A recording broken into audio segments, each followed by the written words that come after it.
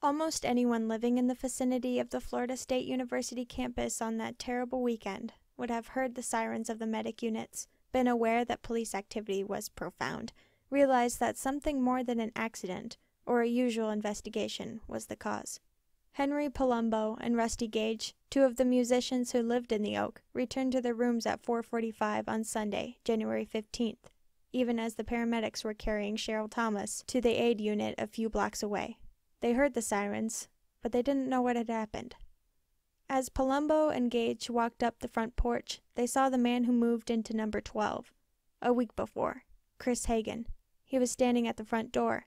They spoke to him and he said hi. He was staring out in the direction of the campus.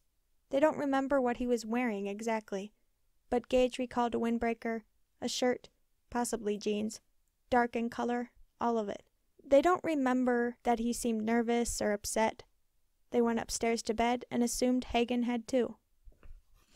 By the next morning, as the postmortems began on Lisa Levy and Margaret Bowman, the radio news broadcasts were full of information about the killer in the Chi Omega house, about the attack on Dunwoody Street.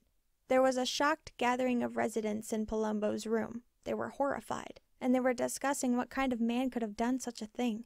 As they talked, Chris Hagen walked in. Chris had never come right out and said what he was doing in Tallahassee. He'd told them that he had been a law student at Stanford University in Palo Alto, and they assumed he was continuing his studies at Florida State, but he hadn't said it in so many words. He had boasted to them that he knew law very well, and that he was a lot smarter than any policeman. He said, I can get out of anything, because I know my way around. They put it down to bullshitting. Henry Palumbo remarked that he felt the killer was a lunatic and was probably lying low as the police investigation accelerated. The others started to agree, but Hagen argued with them. No. This was a professional job. The man has done it before. He's probably long gone by now. Maybe he was right. Hagen said he knew about such things, knew the law, and felt cops were stupid. While the students at Florida State tentatively began their regular routines, moving, especially the co-eds, in a kind of quiet dread, the search for the killer went on. The Leon County Sheriff's Office, the Tallahassee Police Department, and the Florida State Police Department, the Florida Department of Law Enforcement, all worked side by side.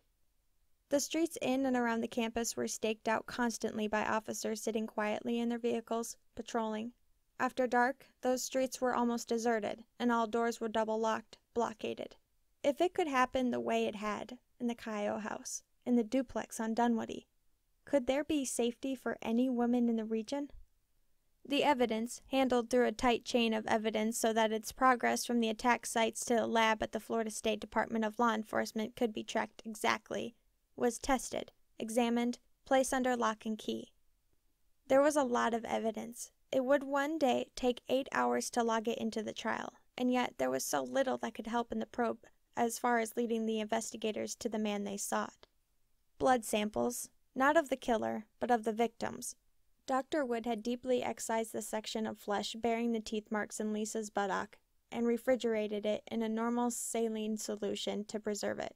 He personally saw Sergeant Howard Winkler, head of the crime scene unit of the Tallahassee Police Department, take possession of it. In trial, there would be defense arguments that the tissue sample had been improperly preserved, that it had shrunk, it had been taken from the saline solution and placed in formalin. Yet Winkler had photographed the bite marks, to scale, with a standard morgue ruler beside them. Whatever shrinking occurred, the scale photos would never change, and a forensic odontologist would be able to match those bite marks to a suspect's teeth almost as precisely as a fingerprint expert could identify the loops and whorls of a suspect's fingers, if a suspect was ever found. There was the Clairol hair mist bottle, stained with type O blood, Lisa's type. There were the two hairs found in the pantyhose mask beside Cheryl Thomas's bed. There were the cards upon cards of latent prints lifted, all of which would prove of no value. The killer apparently knew about fingerprints. There was a wad of chewed gum found in Lisa's hair, gum that would inadvertently be destroyed in the lab and made useless for testing for secretion or for teeth impressions. There were all the sheets, pillows, blankets, nightgowns, and panties. There were the fragments of the oak bark. But how could one piece of bark be traced to a certain source, even if the death weapon was ever found? There were the pantyhose, the Hanes garrote from Margaret's neck, stained deeply with her blood, the Sears brand mask from Cheryl's apartment. That mask would be found to resemble almost exactly the mask taken from Ted Bundy's car when he had been arrested in Utah in August of 1975. There were tests on all the victim's sheets and beddings for the presence of semen. When acid phosphatase is applied to the material, the presence of semen produces a purplish red stain. There was no semen found on Lisa's, Margaret's, Karen's, or Kathy's sheets. There was, however, a semen stain approximately three inches in diameter on Cheryl Thomas's bottom sheet. Richard Stevens, an expert in serology at the Florida Department of the Law Enforcement's Crime Lab, did intensive testing on that semen stain. Approximately 85% of all human beings are secretors. Enzymes are secreted in bodily fluids, saliva, mucus, semen, perspiration, urine, feces, and these enzymes will tell a serologist what blood type that person has. If a sample of cloth bearing a bodily fluid stain is dropped into a control sample with the same blood type, the sample will not agglutinate. The cells will not clump together. If it is dropped into a control sample of another blood type, there will be agglutination. Stevens' agglutination tests for known blood types all showed cell clumping when the Thomas sheet samples were inserted. The test was inconclusive. Next, he used a process known as electrophoresis. A sample of the semen stained sheet was placed in a starch gel and heated until it took on a jello like consistency. It was then put on a glass slide and stimulated electrically, causing the proteins to move, and a small metabolite was added to show the rates of movement there was no detectable PGM enzyme activity.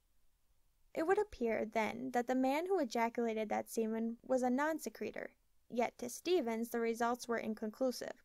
There were too many variables that could affect the tests age of the stain, condition, the material it was on, environmental factors such as humidity and heat.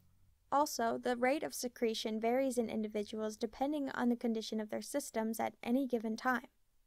Ted Bundy had type O positive blood, and he was a secretor. It was a puzzle. In his trial, the defense would claim that the enzyme tests, the agglutination tests, had proven that Ted could not have left the semen on Cheryl's bed. Perhaps. The prosecution would stress only that Cheryl Thomas could not remember if she had changed her sheets that Saturday, January 14th. Neither side would go a step further would ask Cheryl if she had had sexual relations with another man in that bed earlier in the week, and the question was left suspended.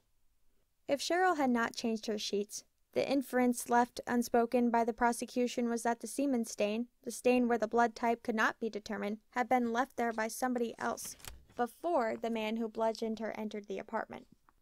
This stain of ejaculate was one piece of physical evidence that Ted's supporters would refer to again and again as proof positive that he was innocent. For a lay jury, it seemed to be a moot point anyway. The scientific testimony would appear to pass over their heads like so much gobbledygook. What the case would come down to was Nita Neary's eyewitness identification of the man in the toboggan cap, the man she saw leaving the Chi Omega house with a bloodstained club the bite marks in Lisa Levy's flesh, and the hairs in the pantyhose mask. The rest would all be circumstantial. But on January 15th, that was academic. The lawmen didn't even have a suspect, and none of them had ever heard of Theodore Robert Bundy, missing now for 16 days from his jail cell in Colorado. Ted still lived at the Oak, and he had stepped up his thefts. With the stolen credit cards, he could eat and drink luxuriously at expensive restaurants in Tallahassee, he could buy items that he needed, but he couldn't figure out a way to get the 320 he needed for his upcoming rent. I was in Los Angeles, still half expecting to see him step out of the shadows in the apartment complex in West Hollywood, still expecting to see his friendly grin. Someone tried to steal my car, pried the whole ignition out of the battered Pinto my producers had rented for me from a rent-a-wreck. When the deputy from the Los Angeles County Sheriff's substation a block away came to take my report, he glanced around my apartment and asked me if I had chosen it myself, or if someone had rented it for me. I told him my producers had picked it out. He grinned. Do you know you have the only apartment on this floor that isn't a hooker's pad? No, I didn't, but it explained why there were so many knocks on my door in the wee hours of the morning. Like the FBI men before him, he double checked my locks and warned me to be careful. I could be forgiven for a slight tinge of paranoia. I got another car from Rent a Wreck and life went on, for it was a long, long way away. I'd never been there and no plans to ever go there. I received a letter from my mother in Oregon. In it, she enclosed a two inch clipping giving the sparsest of details of the Chi Omega murders, and she wrote, It sounds a lot like the Ted murders. I wonder. No, I didn't think so. If Ted had been guilty of the crimes he was accused of in Washington, Utah, and Colorado, and I'd always had great difficulty really believing that, he had made a clean escape. He was free. Why would he jeopardize that freedom, which meant so much to him? The Chi Omega murders, the other attacks, had been different. The work of an almost clumsy, rampaging killer.